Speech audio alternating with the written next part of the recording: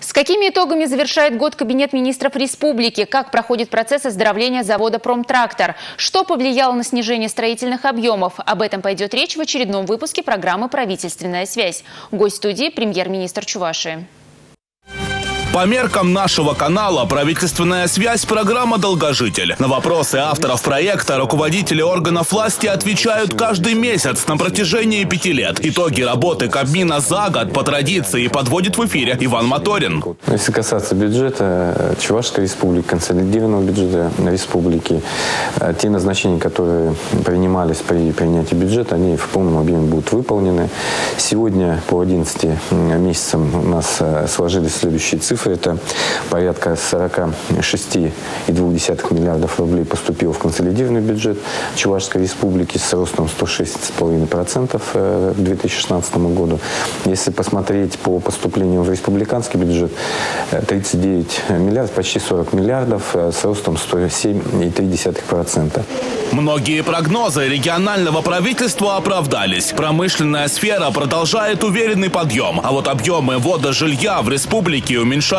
Главная причина – снижение спроса на квартиры. Но все может измениться в следующем году, считает Иван Моторин. Что касается строительного подряда, мы понимаем, что это связано с реализацией инвестиционных проектов и, опять же, с кредитованием э, экономики. Здесь есть определенные сложности и, э, соответственно, э, отставание от цифр 2000 2016 года. Опять же, связываю, что в 2018 году э, те упущения, которые были в, этом, в этих отраслях, мы нагоним. Инфраструктурные проекты Канаша продолжат финансировать Фонд развития моногородов. Это недавняя победа Кабмина. Муниципалитет выпал из списка в октябре. Со своими обязательствами не справился один из инвесторов. Иван Моторин говорит, что правительству региона было необходимо внести корректировки в программу. Стратегический документ согласован. Накануне подписали дополнительное соглашение. До конца года э, планируется поступление э, э, дополнительных средств на финансирование наших проектов. Но я хочу здесь сказать, э, что проекты не останавливаются, независимо от того, будут они финансироваться фондом, не будут. У нас есть действующие контракты, заключенные в соответствии с 44 ФЗ.